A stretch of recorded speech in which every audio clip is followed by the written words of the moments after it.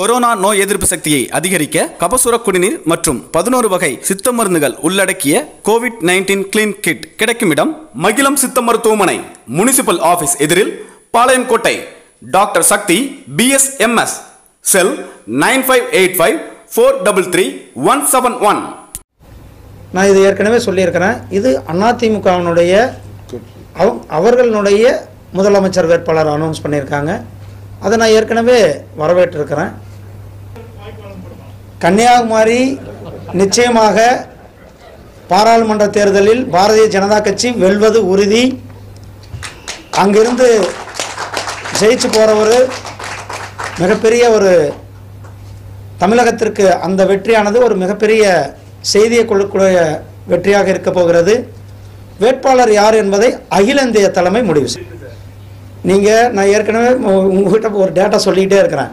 போன சட்டமன்ற தேர்தலில் ரெண்டாயிரத்தி பதினாறு சட்டமன்ற தேர்தலில் பாரதிய ஜனதா கட்சி நாங்கள் தனித்து தான் போட்டியிட்டோம். தனித்து போட்டியிட்டு தொண்ணூறு இடங்களில் வெற்றி தோல்வியை நிர்ணயிச்சிருக்கிறோம். தொண்ணூறு இடங்களில் வெற்றி தோல்வியை நிர்ணயிச்சது பாரதிய ஜனதா கட்சி. அதே மாதிரி முப்பத்தஞ்சுக்கும் மேற்பட்ட இடங்களில் இரண்டாவது இடம் மூன்றாவது இடம் வந்திருக்கும். இது ரெண்டாயிரத்தி பதினாறு சூழ்நிலை. அதற்கு பிறகு இன்னைக்கு மத்திய அரசாங்கங்களில் திட்டங்கள் அதிகமாக மக்கள்கிட்ட கொண்டு போயிருக்கிறோம். இன்றைக்கு இளைஞர்கள் மத்தியில் மிகப்பெரிய ஒரு எழுச்சி இருக்கிறது. பட்டியலின மக்கள் அதிகமாக எங்ககிட்ட வந்துட்டு இருக்கிறாங்க. மகளிர் சக்தி இன்னைக்கு பாரதிய ஜனதா கட்சிக்கு பக்கத்தில் வந்துட்டு இருக்காங்க. இதையெல்லாம் தான் நாங்கள் பேச்சு சொல்லிக்கிட்டு இருக்கோம். பாரதிய ஜனதா கட்சியினுடைய கூட்டணி எங்களுடைய கூட்டணி ஆட்சியில் நாங்கள் கை காட்டுறவங்க ஆட்சியில் இருப்போம். வெற்றிவேல் யாத்திரை தமிழகத்தில் மிகப்பெரிய ஒரு திருப்புமுனையை ஏற்படுத்தக்கூடிய யாத்திரையாக இருக்க போகிறது. கந்தசஷ்டி கவசம் கோடான கோடி தமிழ் மக்கள் உலகம் முழுவதும் இருக்கின்ற தமிழ் மக்கள் தமிழ் கடவுள் முருகபெருமானை காலையில் எந்திரிச்ச உடனே அனுதினமும் போற்றுவது கந்தசஷ்டி கவசம். பல வாரங்களாக கடுமையாக விரதம் இருந்து பாத யாத்திரைகளாக சென்று முருகனை தமிழ் கடவுள் முருகபெருமானை வழிபடுவது தமிழர்களினுடைய மரபு தமிழர்களினுடைய பண்பு. அப்படிப்பட்ட தமிழர்களினுடைய பண்பையும் மரபையும் வழிபாட்டு முறையும் கொச்சைப்படுத்திய அந்த கருப்பர் கூட்டம் யூடியூப் சேனல் அதனுடைய நிர்வாகிகள் அவர்கள் மேல் நடவடிக்கை எடுக்க வேண்டும். அரசாங்கம் நடவடிக்கை எடுத்திருக்காங்க. இருந்தாலும் அது பத்தாது. ஏன்னா மக்கள் மனது அந்த அளவுக்கு புண்பட்டிருக்கிறது. அதில் திமுகவினர் சம்மந்தப்பட்டிருக்காங்க அப்படின்றது அத்தனை பேருக்குமே தெரியும். இன்னைக்கு வரலும் திமுகவுடைய தலைவர் மரியாதைக்குரிய ஸ்டாலின் அவர்கள் அதை குறித்து எந்த ஒரு விளக்கமும் கொடுக்காதனால நாமெல்லாம் என்ன என்ன தோணுதுன்னா கருப்பர் கூட்டத்திற்கு பின்னால் திராவிட முன்னேற்ற கழகம்தான் இருக்கிறது என்பது அத்தனை பேருமே நினைக்க தோன்றுகிறது. ஏன்னா அவங்க கடந்த ஆறு மா மூணு மாதமாகவே இந்த பிரச்சனை இருக்குது ஆனால் இது மக்கள் மத்தியில் எங்களுக்கும் கருப்பர் கூட்டத்துக்கும் எந்த தொடர்பும் இல்லை அப்படின்ட்டு சொல்லலை. கருப்பர் கூட்டத்தில் அந்த கைது பண்ண நபர் செந்தில்வாசன். அவர் திமுகவுடைய ஐடி பிரிவில் வேலை செஞ்சார். அப்படின்ட்டு எல்லாருமே சொல்கிறோம் செஞ்சாரா இல்லையா அப்படின்றத எதிர்க்கட்சி தலைவர் ஸ்டாலின் அவர்கள் சொல்லணும் ஆனாலும் சொல்லலை. எந்த விளக்கமும் கொடுக்கல. இந்துக்கள் மனதை புண்படுத்துவது ஒவ்வொரு முறையும் திமுகவினுடைய வாடிக்கை தமிழ் கடவுளை புண்படுத்துவது தமிழ் மக்களினுடைய வழிபாட்டு முறையை இழிவுபடுத்துவது திமுகவினுடைய வாடிக்கையாக இருக்கிறது. இதையெல்லாம் மக்களிடத்தில் எடுத்துச் சொல்லும் விதமாக கடந்த இரண்டு மூன்று மாதங்களாக பாரதிய ஜனதா கட்சி சார்பில் பல்வேறு நிகழ்ச்சிகள் நடத்தியிருந்தோம். ஆன்மீக பெரியவர்கள் சான்றோர்கள் முருக பக்தர்கள் காவடி குழுக்கை சேர்ந்தவர்கள்லாம் ஒரு அழைப்பு விடுத்திருந்தாங்க.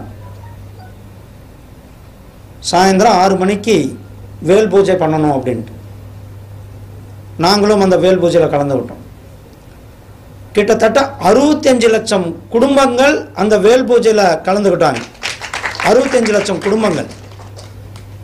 இதிலிருந்தே எந்த அளவுக்கு இந்துக்கள் மனது புண்பட்டிருக்கிறது எந்த அளவுக்கு இந்துக்களினுடைய மனது காயப்பட்டிருக்கிறது என்பதை எங்களால் உணர்ந்து கொள்ள முடிகிறது. மக்களுக்கு ஆறுதல் சொல்லும் விதமாகவும் கருப்பர் கூட்டத்திற்கு தக்க பாடத்தை புகட்டுவதற்காகவும் இந்த வெற்றிவேல் யாத்திரையானது நாங்கள் திட்டமிட்டிருக்கிறோம். இந்த வெற்றிவேல் யாத்திரையின் போதிலே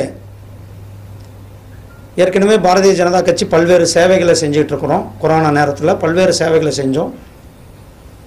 இப்பயும் எங்களுடைய சேவைகள் தொடர்ந்து செஞ்சுக்கிட்டு இருக்கிறோம் மத்திய அரசாங்கம் கிட்டத்தட்ட ஒன்று புள்ளி எழுபது லட்சம் கோடிக்கு கொரோனா நிவாரண நிதி மட்டும் ஒதுக்கியிருந்தாங்க. தமிழ்நாட்டில் மட்டுமே ஒரு கோடி மகளிருக்கு ஜன்தன் அக்கௌண்ட்டில் மாதம் ஐநூறு ரூபாய் செலுத்தியிருக்காங்க. தமிழ்நாட்டில் விவசாயிகளுக்கு நாற்பத்தி ஒரு லட்சம் விவசாயிகளுக்கு விவசாய சன்மான் நிதி முன்கூட்டியே கொடுக்கப்பட்டிருக்கிறது. அதே மாதிரி எம்எஸ்எம்இ ஆத்ம நிர்பர் பாரத்தில் எம்எஸ்எம்இ தான் இந்தியாவிலே தமிழ்நாடு தான் அதிக பலம் பெற்ற மாநிலமாக இருக்கிறது. இதையெல்லாம் மக்கள் விதத்தில் எடுத்து செல்லும் விதமாகவும் வருகிற சட்டசபை தேர்தலில் ஒரு பெரிய மாற்றத்தை ஏற்படுத்துவதற்காகவும் இந்த யாத்திரையானது தொடங்க இருக்கிறோம். தமிழகம் முழுவதுமே இந்த யாத்திரை திட்டமிடப்பட்டிருக்கிறது. இந்த யாத்திரை தமிழகத்தில் மிகப்பெரிய மாற்றத்தை ஏற்படுத்தக்கூடிய யாத்திரையாக திகழப்போகிறது. பாரதிய ஜனதா கட்சியினுடைய சட்டமன்ற உறுப்பினர்கள் சட்டசபையில் அலங்கரிக்க போவது நிச்சயம் நிச்சயம் நிச்சயம். மிகப்பெரிய அளவில் மாற்றம் ஏற்பட போகுது நம்ம கண் கூட பார்த்துட்டு இருக்கீங்க. இன்றைக்கு இளைஞர்கள் தமிழகம் முழுவதும் இருக்கிற இளைஞர் சக்தி பட்டியலின மக்கள் மகளிர் சக்தி விவசாய பெருமக்கள் கலைத்துறை சார்ந்தவங்க பெரிய பெரிய தொழிலதிபர்கள் அத்தனை பேருமே பிஜேபி பக்கம் வந்துட்டு இருக்கிறாங்க அதுக்கு காரணம்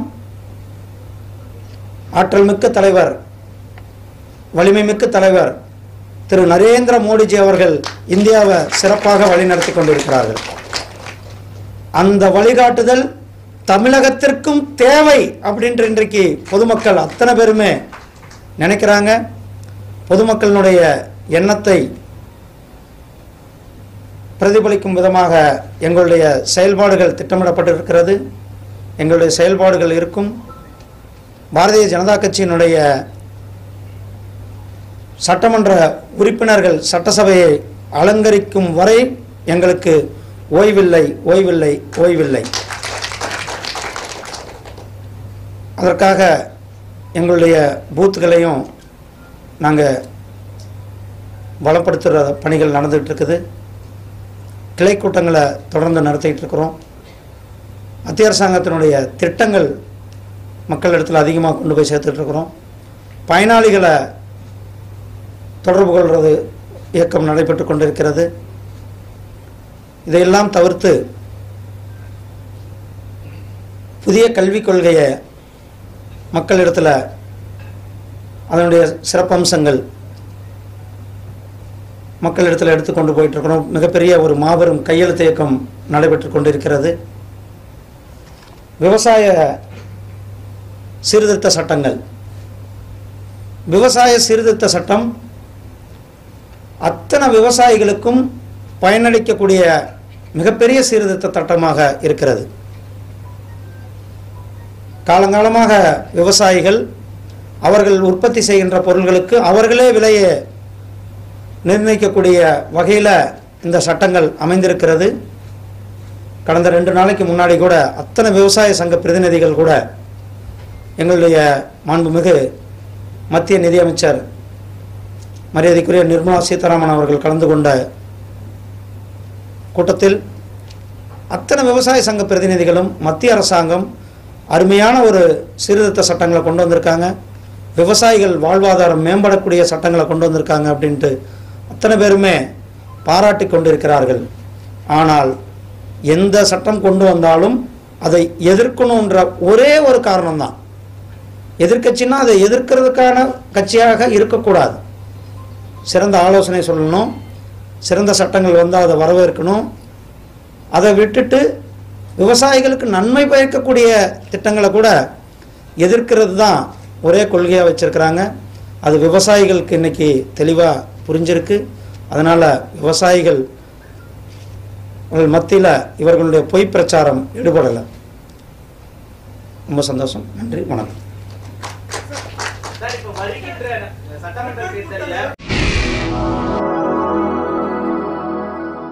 அரசியல் தெளிவோம்.